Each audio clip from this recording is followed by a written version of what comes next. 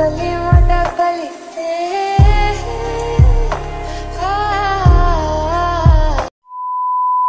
hello everyone welcome back to my channel তো তোমরা জানোই যে আমাদের উদয়পুরের ব্লগ এখনও কন্টিনিউ আছে সো তোমরা অবশ্যই আমার প্রত্যেকটি ভিডিও দেখিও আর হ্যাঁ উদয়পুরে যেগুলো জায়গায় আমরা গিয়েছি বা যাব, যেমন হচ্ছে সজ্জনগড়, সিহেলিও কি বাড়ি ফতেসাগর লেক, আর আমরা কাল যাব হচ্ছে সিটি প্যালেস। তো সব জায়গাতেই কিন্তু বলিউডের অনেক ফেমাস ফেমাস মুভি শুটিং হয়েছে। যেমন হচ্ছে ধামাল, ধড়ক, হাম সাথ সাথ হে, প্রেম রতন ধন পায়ো। তো কোথায় কোন শুটিং হয়েছে এটা নিয়ে কিন্তু আমি সব শেষে ফুল ডিটেলসে ভিডিও বানাবো। তোমরা অবশ্যই সেটা দেখিও। তো চলো তাহলে আজকের ভিডিও দেখতে থাকো। আমরা এখন বাগরকি হাভেলিতে চলে এসেছি। কিন্তু এই টিকিট কাউন্টারে যে বসে সে এখন লাঞ্চ করতে গেছে। জাস্ট আসলো বুঝি দরজা খুলছে। এই যে আমরা এখন- টিকিট কাটবো। টিকিট কেটে তারপরে গিয়ে ভিতরে যাব। আর ভেতরে ক্যামেরা করতে দেয় কি দেয় না। আমাদের এখানে অনেকগুলো ফরেনার আছে। আশেপাশে সব ফরেনাররা ঘোরাঘুরি করছে। হ্যাঁ, আর এই যে আমরা রাত্রে এই জায়গাটাতে এসেছিলাম তোমরা যদি আগের ভিডিও দেখে থাকো তাহলে বুঝতে পারবে। অবশ্য নাইটের ভিউটা বেশি সুন্দর ছিল। আর সামনে একটা লেক আছে এটা কোন লেক পিচোলা লেক না? তো পিচোলা লেক এটাই। আমরা এখানে কালকে ঘুরবো, কারণ এটা একদম আমাদের ঘরের কাছেই আছে। আর এই যে বাগার কি হাভেলি যে আছে, এটাও আমাদের রুমের কাছেই আছে। আমরা প্রায় দূরে দূরে আজকে ঘুরেই নিলাম। আমরা এখন বাগার কি হাভেলি দেখে রুমে একটু যাব রেস্ট করব। ফোনেও চার্জ প্রায় শেষের দিকে। তো তারপর হচ্ছে যে এখানে যাব, ওই কর্ণী মাতা মন্দির যাব। কর্ণী মাতা মন্দির ঘুরে তারপরে আমরা এখানে রাতে ঘোরাঘুরি করে, আর কালকে আমরা এই যে এই ঘুরবো সিটি প্লেস যাব। দিয়ে তারপর যেগুলো ঘোরার জায়গাগুলো বাকি আছে, সব আমাদের ঘরের কাছেই আছে, রুমের পাশে পাশেই আছে, ওগুলোতেই সব আমরা ঘুরে দেন হচ্ছে কালকে আমাদের বিকেলে ট্রেন আছে। তো এখন আমরা বাগারকি হাভেলির ভেতরে যাব, দেখব কেমন লাগছে। তারপরে একটু এখানে যাব। আর ওয়েদারটা দারুণই আছে মানে গরমই লাগছে না নর্মাল ওয়েদার লাগছে, আমাকে দেখলে তো বুঝতে পারবে তোমরা। আর রোদ্দুরটাও চলে গেছে প্রায়। কিন্তু এখন সময় হয়েছে প্রায় আড়াইটা। দুটো তিরিশ সময় হয়েছে। আসেনি? আসো না ওখানে যাও। বলছে যে কলকাতার স্ট্রিট ফুড খুবই সুন্দর। Panipuri fuchka? Bengali, you are saying pani puri ना हाँ मंगरीला को कुछ का कुछ का कुछ का Different names? Ouais, différents names. Même différentes euh, catégories. Euh, potatoes. Potatoes.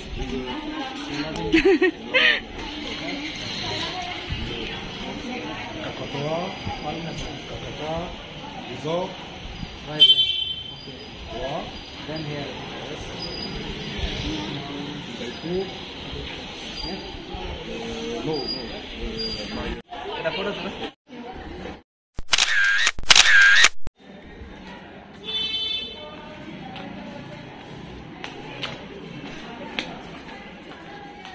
Wow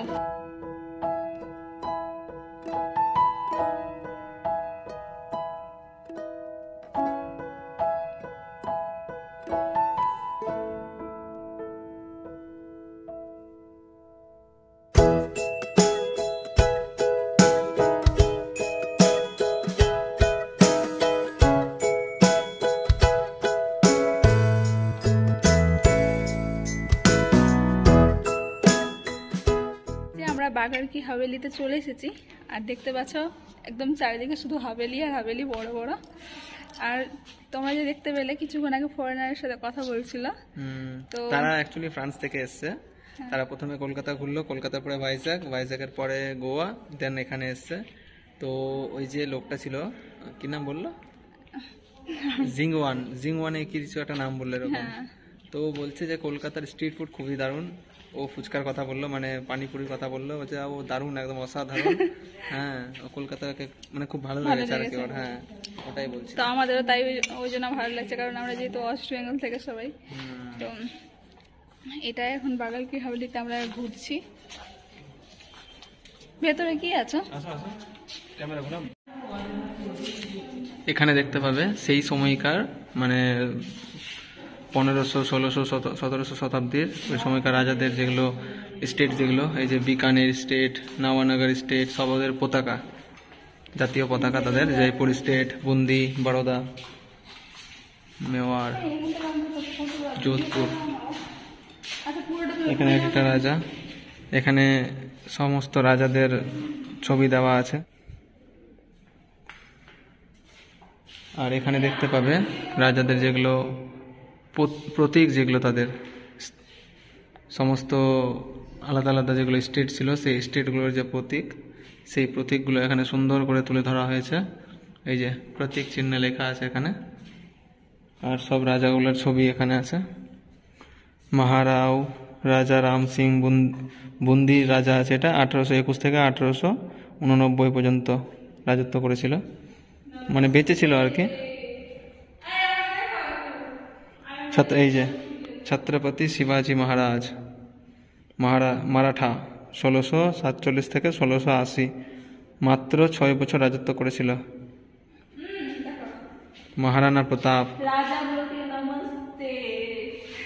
এই যে, এটা মহারানা প্রতাপ মেওয়ার মহারানা প্রতাপ, এই রাজত্ব করেছিল। এখানে লেখা আছে, পনেরোশো বাহাত্তর থেকে পনেরোশো সাতানব্বই পর্যন্ত রাজত্ব করেছিল মহারানা প্রতাপ। ছত্রপতি শিবাজি মাত্র দেখো শিবাজি শিবাজি মহারাজ দেখো মাত্র ছয় বছর রাজত্ব করেছিল। মাত্র ছয় বছর। এই যে মহারাজ রাও যোধা। এই যে যোধা যোধা। মহারাজা রাও যোধা যোধপুর। এ আক- আকবরের শ্বশুর।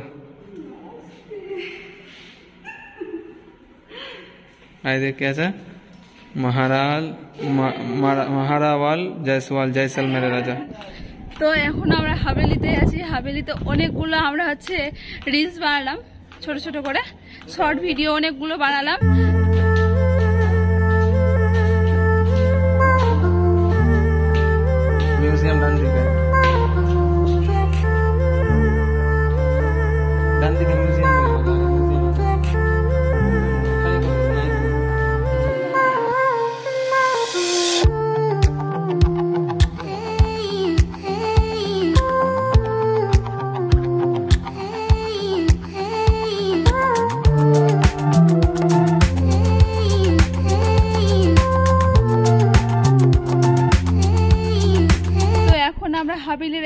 ওপরে চলে এসেছি।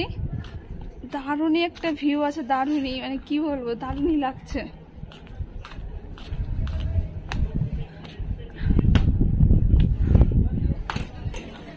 এই যে, কি সুন্দর লাগছে।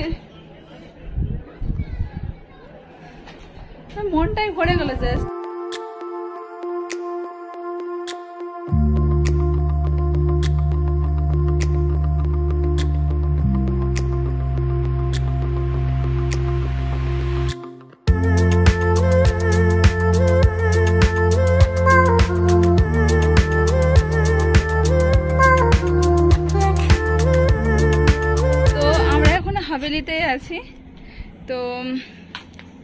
হাভেলি এখনও ঘোরা কমপ্লিট হয়নি। আমরা অনেকগুলো হচ্ছে যে ওই আমরা অনেকগুলোই হচ্ছে যে রিলস বানালাম। আর যদি রিলস দেখতে চাও তাহলে অবশ্যই আমাকে ইনস্টাগ্রামে ফলো করো। আমি চ্যানেলের ওখানে সব লিঙ্ক দিয়ে দেবো মানে ডেসক্রিপশনে লিঙ্ক দিয়ে দেবো। এখন আমরা আবার একটা ভেতরে এসেছি, একটা হোটেলের ভেতরে। দেখাচ্ছি আমি ব্যাক ক্যামেরা করে। আমরা এখন হাভেলির মিউজিয়ামের দিকে এগিয়ে যাচ্ছি। এই হাভেলিতে অনেক কটাই মিউজিয়াম আছে, সুন্দর সুন্দর মিউজিয়াম। এখন একটা গাছ দেখতে পাচ্ছ, সুন্দর গাছটা, দুই তলা ওপরে আছে এটা। দেখে মনে হবে না। এই যে আমরা যাচ্ছি এখন ঠিক বসার ঘরে, যেখানে রাজা বা যারা এই মালিক ছিল এই হাভেলির ওনারা বসতেন এখানে। এটা রানীর বসার জায়গা। খুব সুন্দর করে সাজিয়ে রেখেছে। এটা সেই সময়কার হুকো। আর পুরোটা চাঁদির। ফোনে হয়তো বোঝা যাচ্ছে না, কিন্তু সম্পূর্ণ চাঁদির। এই আশেপাশে দেখতে পাচ্ছ সুন্দর সুন্দর জিনিসগুলো, এই যে সেই সময়কার সব গয়না রাখার জিনিস, বাসনপত্র, তারপরে দিয়ে পাখা, ছোট ছোট জিনিস এখানে সুন্দর করে তুলে ধরা হয়েছে এই মিউজিয়ামের মধ্যে।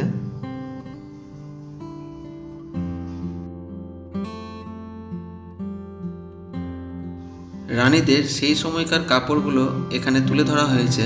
আপনারা দেখতে পাবেন, খুব সুন্দর হাতের কাজ করা আছে সেই কাপড়গুলোতে। দেখে মনে হবে মেশিনে কাজ করা, কিন্তু সবই পুরনো আর সম্পূর্ণই হাতে কাজ করা এগুলো।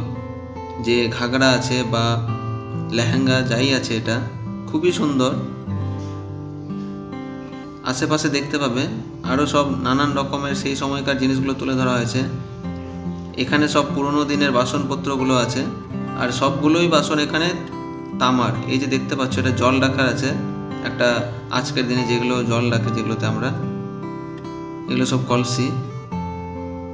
এখানে দেখানো হয়েছে যে কত সুন্দর করে সেই সময়কার রানীরা সাজগুজ করতেন, তার দাসীরা তাদের সেবা করতেন। আচ্ছা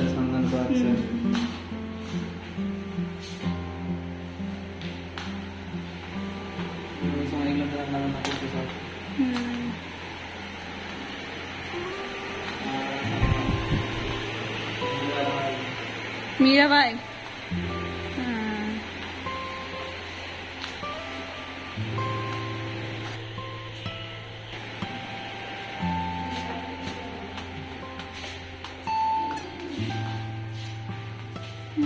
এটা আরেকটা মিউজিয়াম যেখানে সেই সময়কার যে গেমগুলো খেলা হতো, এটাকে বুঝি পাশা বলা হয়। সেই সময়কার যেগুলো গেম খেলা হতো, সেই গেমগুলো এখানে তুলে ধরা হয়েছে। এখানেও বসার জায়গা আছে। এই যে এটা হচ্ছে দাবা। কাঠের এগুলো বানানো এই গেমগুলো। এই গেমগুলোই সেই সময়কার রাজারা খেলতেন, তাই এখানে তুলে ধরা হয়েছে।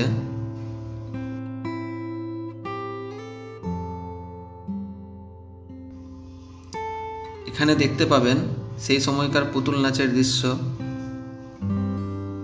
কীভাবে সেই সময় পুতুল নাচ করা হতো এবং মানে আজকের দিনে তো আমরা টিভি দেখছি বা ফোন আছে, সেই সময় তার সেগুলো ছিল না। সেই সময় এগুলো দিয়েই বিনোদন করা হতো। এটা একটা ঠাকুর ঘর, যেখানে আজকের দিনে হয়তো পুজো হয় না, কিন্তু সেই সময় এটা ঠাকুর ঘর ছিল। আর খুব সুন্দর করে সেই সময়কার পুজোর যেগুলোই, পুজোয় যেগুলো ব্যবহার করা হতো অ্যাকচুয়ালি বাসনপত্র থেকে শুরু করে, পুজো করার আসবাবপত্র যাই থাকে, সবই এখানে সুন্দর করে তুলে ধরা হয়েছে। এগুলো হচ্ছে সেই সময়কার পাগড়ি। এখানে সেই সময় যেগুলো পাগড়ি পরতো, এটা বিশাল বড় একটা পাগড়ি, মোটামুটি আট দশ কিলো ওজন হবে মনে হয়। আর এখানে সবই রকম পাগড়ি দেওয়া আছে, আর প্রত্যেকটা পাগড়ির বিশিষ্টটা এখানে লেখা আছে। যে কোন পাগড়ি কোন এলাকার লোক পরতেন সেই সময় মানে কোথায় মহারানা বা মারাঠা বা রাজস্থান, গুজরাট, কোথায় কীরকম পাগড়ি পরা হতো, সম্পূর্ণ এখানে তুলে ধরা হয়েছে।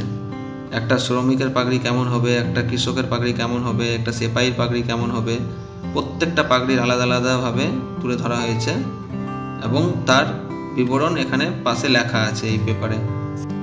এখানে যতগুলোই পাগড়ি দেখছেন, প্রত্যেকটা পাগড়ি আরেকটা পাগড়ির থেকে আলাদা। কোনোটাই মিল নেই, কিছু না কিছু হলেও একটু আলাদা আছে। আর যত কিছুই দেখছেন, এই যে পাগড়ি, বাসনপত্র দিয়ে কাপড় চোপড়, পুজো করার আসবাবপত্র ওখানে যাই ছিল সবই প্রায় দুশো বছর আগেকার। এখানে নতুন কিছু বানানো নেই, সবই দুশো বছর আগেকার। সব এখানে সংগৃহীত করা হয়েছে, দিয়ে একটা বড় মিউজিয়াম বানানো হয়েছে।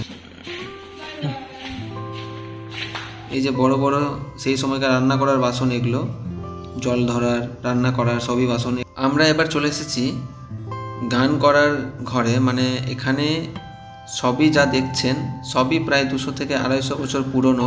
প্রত্যেকটা জিনিস সে বিনা হোক আর হারমোনিয়াম হোক আর এই তবলা হোক, যাই হোক, সবই দুশো বছর আগেকার এবং এগুলো দিয়েই সেই সময় গান করা হতো। এখানে সেই সময়কার প্রত্যেকটা গান করার যেগুলো ইনস্ট্রুমেন্ট আছে, সবই তুলে ধরা হয়েছে।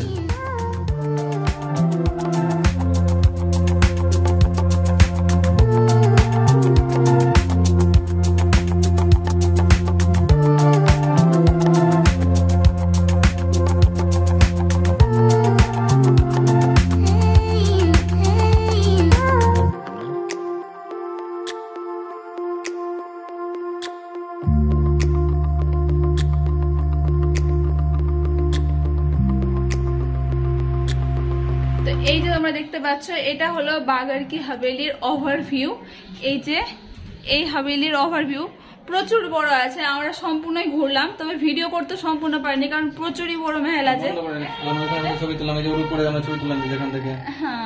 হ্যাঁ হ্যাঁ এই জায়গাটা থেকে আমি হাত দিয়ে দেখাচ্ছি। হ্যাঁ। এই যে এই জায়গাটায় আমরা অনেকগুলো ফটো তুললাম তোমরা সেটা আমার ইনস্টাগ্রামে পেয়ে যাবে। এখান থেকে ওটা দিয়ে আমরা পিছনে গিয়ে ওখান দিয়ে ঘুরে ওটা যে বড় গাছটা বললাম যে ওই যে গাছগুলো যা আছে। হ্যাঁ। ওখানে ঘুরলাম। আর এই গাছটা এখানে যেটা মিডলে গাছ দেখাচ্ছে এই গাছটা এখন নাই এখানে এই গাছটা মরে গেছে। হ্যাঁ। আর এই যে তোমরা দেখতে পাচ্ছ এই জিনিসটা এখানে আমরা রাতে ঘুরেছিলাম। গতকাল রাতে সম- এটা তোমরা সম্পূর্ণ হাভেলির হাভেলির মধ্যে সম্পূর্ণটাই একটা হাভেলির মধ্যেই পড়ছে। এই যে পেছনের গেটটা ওটাই যে হাভেলির ওই দেখালাম যে আমরা। তো এখন বাগারকি হাভেলি ঘোরা কমপ্লিট এখন আমরা কিছুক্ষণের জন্য রুমে যাব মিনিমাম আধ ঘণ্টার জন্য। দিয়ে তারপর আবার আমরা কোনটা মন্দির যাব? কারিনী মাতা মন্দির যাব। আমরা রুম থেকে একটু রেস্ট করে তারপরে যাব। সবে তিনটা বাজলো। সাড়ে তিনটায় দিয়ে ঘুরতে বেরোবো আবার। তো আমরা ওই যে হাভেলি ঘুরে এখন রুমে এসেছি। রুমের পাশেই একটা রেস্টুরেন্ট আছে। ওইটা আমাদের রুমেরই রেস্টুরেন্ট নাকি? আচ্ছা এটা হোটেলের রেস্টুরেন্ট তো আমরা এখানে এসেছি। কিছু খাওয়া দাওয়া করতে। যেহেতু কিছু খাওয়া দাওয়া বলতে আমরা থালি খাব। কারণ আমরা ওখানে তেমন খাবার পাইনি। ওই ডাল বাটি পেয়েছিলাম নাকি? কি ওটা না? ছোলে ভাটুরে। তো ওটাই খেয়েছি। তারপর আর তেমন কিছু খাওয়া নেই আর বাড়ি থেকে খেয়ে গেছিলাম কাজু বিস্কিট ব্রেকফাস্ট করে বেরিয়েছিলাম। তো এখন তিনটা বাজে আমরা আগে কিছু খাওয়া দাওয়া করে নেব। তারপরে হচ্ছে রুমে গিয়ে রেস্ট করব কিছুক্ষণ তারপর আবার বেরিয়ে যাব ঘুরতে। কারণ গাড়ির সময় আছে মানে আমরা স্কুটি যেটা রেন্টে নিয়েছি সেটা হচ্ছে আটটা সকাল আটটার সময় দিবে। আর রাত্রি আটটা পর্যন্ত সময় আছে, তো আমরা আটটা পর্যন্ত ঘুরবো। দেখা যাক এখন কোথায় কোথায় যাব। তো এই তো বললাম একটা মন্দির যাব এখান থেকে রেস্ট নিয়ে। তারপর দেখছি কোথায় কোথায় যাওয়া যায়, এদিক ওদিক ঘুরবো।